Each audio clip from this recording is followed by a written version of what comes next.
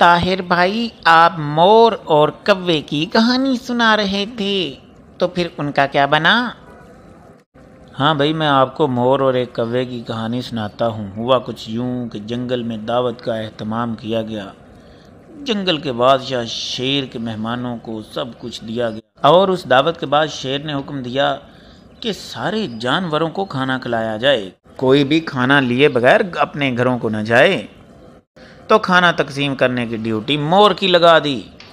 मोर जो था, वो मुख्तलिफ़ जानवरों को, मुख्तलिफ़ परिंदों को खुराक उनके हिसाब से देता। उसने देखा कि जब एक कव्वे को उसने खुराक दी तो उस कव्वे ने अपना हिस्सा एक चिड़िया को दे दिया। मोर इस पर सीख पा हो गया। बड़ा ही कुछ सख्त दिल किस्म का मोर था। मोर ने कहा कि जब मैंने ये खुराक आपको दी है तो आपने चिड़िया को ये खुराक क्यों दी? इस बात पर तो मोर को बिल्कुल एतराज़ नहीं करना चाहिए, क्योंकि कव्वे को अपनी खुराक मिली, वो जिसको मर्ज़ी दे सकता है। हाँ यही बात तो उस कव्वे ने की कि देखें, मुझे चिड़िया के बच्चों का ख्याल आया, और क्योंकि मेरे पास पहले ही काफ़ी खुराक थी तो मैंने चिड़िया का हाल देखा। मैं उस चिड़िया को जानता हूँ, उसके बच्चे भी ज़्यादा हैं तो मैंने अपनी खुराक का हिस्सा उसे दे दिया। तो मोर को तो कोई एतराज़ नहीं होना चाहिए था। इस बात पर मोर सीख पा हो गया। मोर ने कहा, जो मेरा हुक्म है, उसी तरह करो। यही झगड़ा होते होते बादशाह तक पहुँच गया। तो कव्वे ने कहा, मैं बादशाह सलामत के हजूर पेश होकर इसका इंसाफ चाहता हूँ। तो मोर ने कहा, जाओ जहाँ मर्ज़ी। कोई मसला नहीं, मैं बिल्कुल ठीक कह रहा हूँ।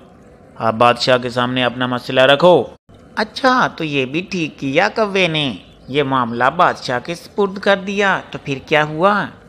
फिर क्या था भाई? मोर को अपनी खूबसूरती पर बड़ा नाज था। उसने कव्वे को बुरा भला कहा और काला कलोटा कहा और कहा कि तुमने अपनी शक्ल देखी है, कैसे काले कलोटे हो? मेरे जैसे खूबसूरत परिंदे के सामने तुम्हारी ज़रूरत कैसे ऐसे बात करने की? और मैं भी निगहबान मुकर किया गया हूँ बादशाह का। आखिरकार दोनों बादशाह के हजूर पेश हो गए। और बादशाह ने दोनों की बात सुनी। और मोर को कहा कि तुमने इसे बुरा भला भी कहा। याद रखना, असल खूबसूरती जिस्म की और परों की नहीं है। असल खूबसूरती तो दिल की खूबसूरती है। इस पर मोर बड़ा शर्मिंदा हुआ और कव्वे से माफ़ी मांगी। बादशाह ने कहा, इस कव्वे का दिल नरम है। वो खूबसूरत है, इसलिए वो उसने दूसरों का ख्याल रखा। अरे हाँ यही तो मौलाना रूमी का कौल भी है कि असल खूबसूरती तो दिल की खूबसूरती होती है।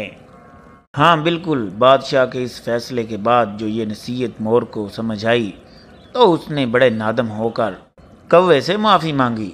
और होना भी ऐसा ही चाहिए। ज़ाहरी खूबसूरती की बजाय दिल की खूबसूरती ही असल खूबसूरती है। हाँ भाई आपका शुक्रिया। आपने मुझे बहुत ही सबक आमोज कहानी सुनाई।